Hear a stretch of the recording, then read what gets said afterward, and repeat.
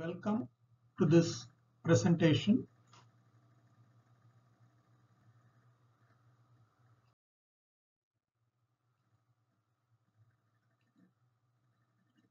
This is the 16th in the series of short videos, each featuring five multiple choice questions covering diverse unrelated aspects of psychiatry. Each MCQ has four options of which one is correct. Brief information related to the questions will be provided.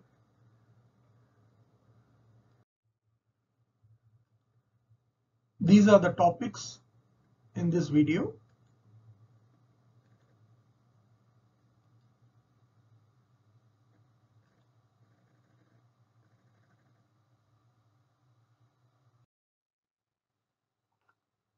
Question 1. VMAT2 inhibitors are used in the management of which of the following adverse effects of antipsychotics? There are four options. Please go through the options and make your selection. If you want, you can pause the video while you decide your answer.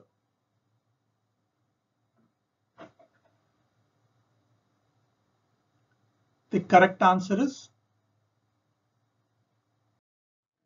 D.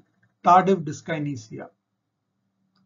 VMAT2 inhibitors are used in the management of tardive dyskinesia, which is a major adverse effect caused by long-term use of antipsychotics, especially first generation antipsychotics.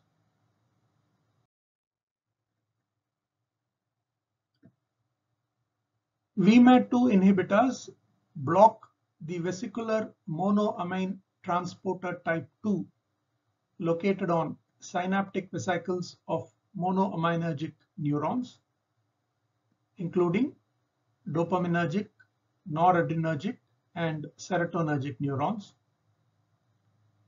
VMAT2 inhibition results in a reduction in the storage and release of monoamines particularly dopamine. The two main indications of VMAT2 inhibitors are chorea in Huntington's disease and tardive dyskinesia. Examples of VMAT inhibitors include tetrabenazine, deutetrabenazine, and valbenazine. Tetrabenazine is an old drug, while the other two are much more recent.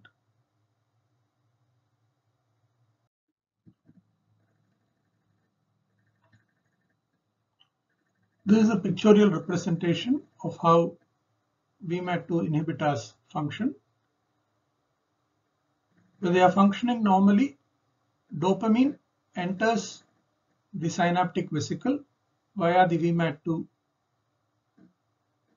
and then it is released into the synapse. When the VMAT2 inhibitors block the VMAT2, dopamine is no longer able to enter the synaptic vesicle and so there is a reduction or lack of dopamine release into the synapse.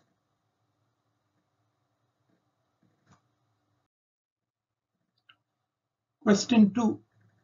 The N-back task is used to assess which of the following?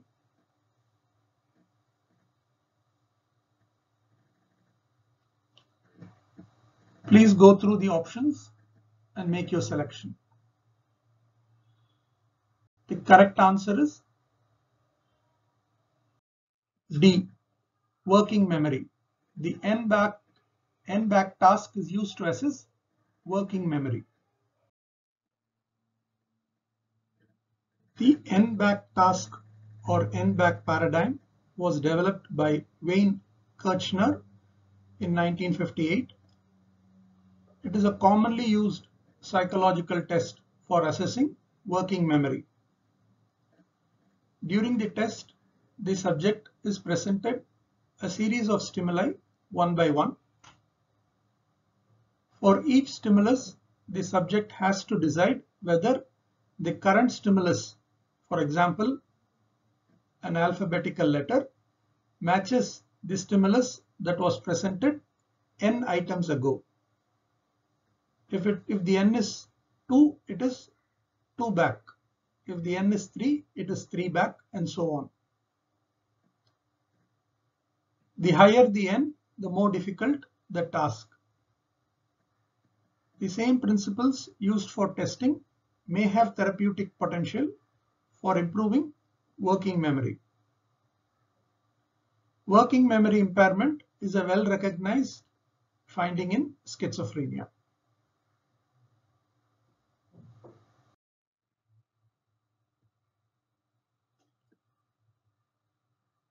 This is a pictorial representation of the N-back task.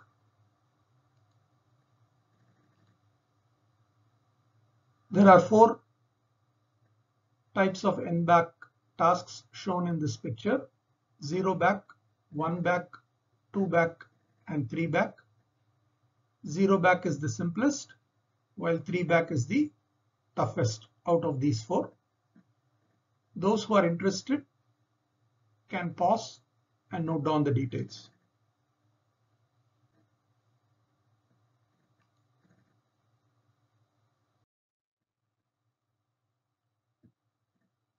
Question 3.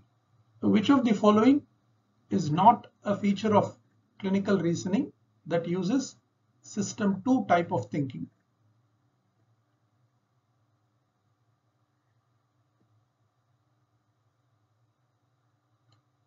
Please go through the four options and make your selection.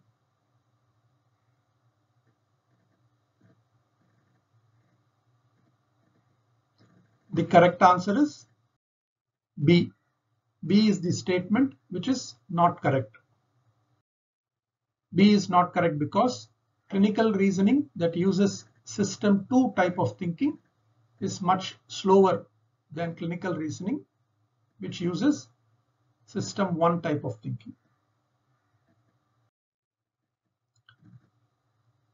System one and system two thinking were proposed by Daniel Kahneman, a psychologist who won the Economics Nobel Prize, to explain how people make decisions. The table below highlights the key differences between the systems when applied to clinical reasoning for example, while arriving at a diagnosis. Those who are interested can pause and note down the details. It is important to realize that the same individual can use both system 1 and system 2 as per the requirements of the situation. For example, an experienced clinician would normally use system 1 in a busy clinic where time is of the essence and they are able to make quick diagnosis using illness scripts which employ pattern recognition. But the same experienced clinician can seamlessly transition to a system 2 type of thinking when he or she encounters a rare, complex or atypical case where there is diagnostic uncertainty.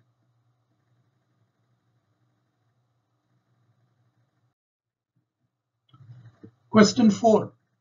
The image shown here represents which of the following concepts in genetics?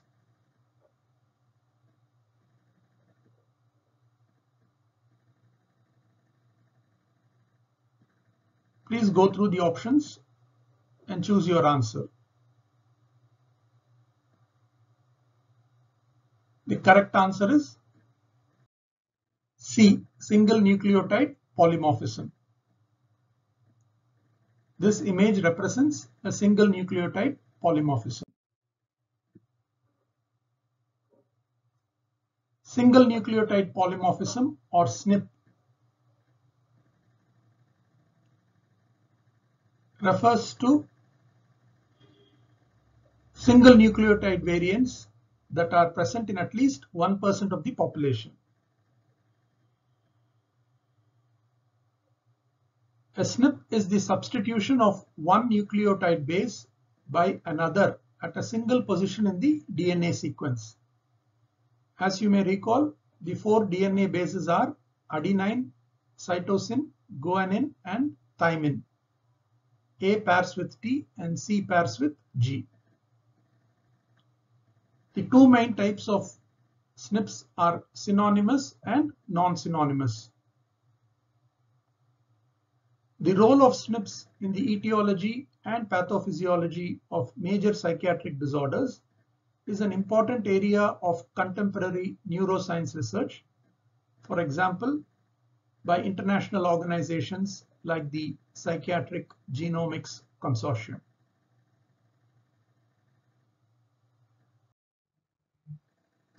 Question 5. Which of the following is correct regarding personality disorders in ICD-11? Please go through the four options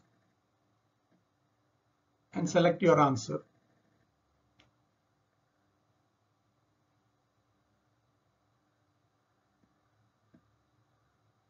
The correct answer is A. There are no individual categories of personality disorder in ICD-11. In ICD-11, there are no separate categories of different personality disorders. There is only a single general diagnosis of personality disorder. There are five, five trait domains namely negative affectivity, detachment, dissociality, disinhibition, and anancastia. The assessment of these five trait domains will help make a diagnosis of personality disorder. B is incorrect because there is only a borderline qualifier for patients with features of borderline personality disorder. This is only a qualifier and does not have a separate diagnostic code. C is incorrect because there is provision for grading severity of personality disorder in ICD-11. Personality disorder can be graded as mild, moderate or severe, each with its own diagnostic code. Severity is rated based on the degree of disturbance in interpersonal functioning risk of harm to self, others, etc.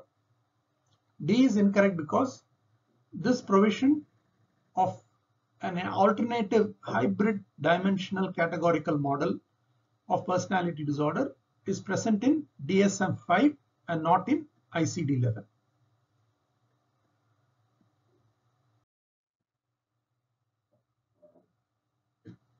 That brings us to the end of this presentation. Hope you've found the information useful. Thank you for watching.